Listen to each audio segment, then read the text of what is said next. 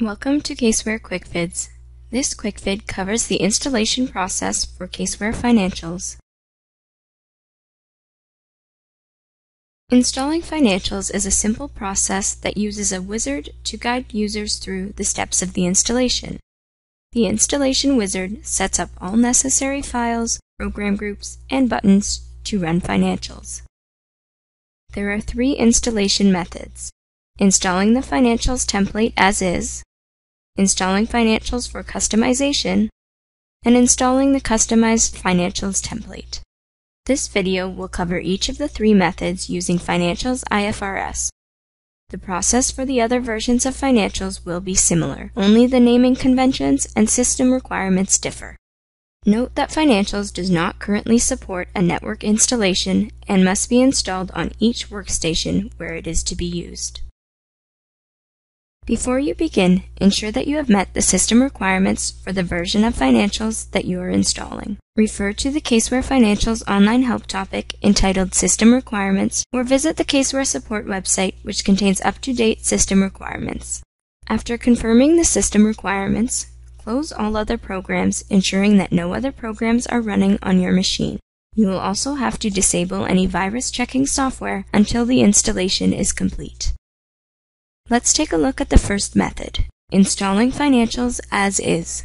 This installation method is for organizations that have not customized the financials template and instead wish to install the financials template with the default untouched caseware standards and settings. This process will need to be followed by all licensed users of the template.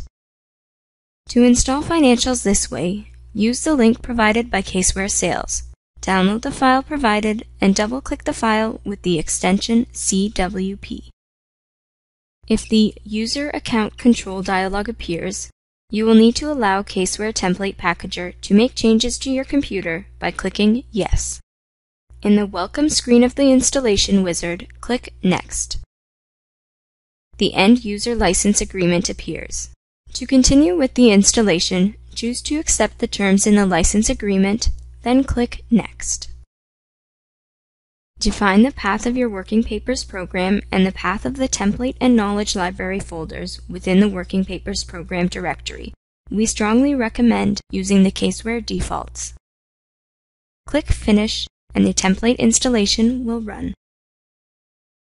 The template will install and once finished, the Getting Started online help topic appears. Click Close. Financials has been installed on your machine. The second method is installing financials for customization. An organization can customize financials with their own content. The customized template can then be repackaged and distributed to users. The installation process can be thought of as a three-step process. First, the organization must install it from the link provided by Caseware Sales. Second, the content in the master template needs to be customized and repackaged. Third, the customized template must be distributed to users. The individual responsible for the template customization must install financials from the link provided by Caseware Sales. Use the same installation process as covered in the first part of this quick vid. For customizations, review the content in the master template. Customize any content as needed for organization standards and repackage the customized template. Please refer to the online help topics on repackaging and distributing for more information.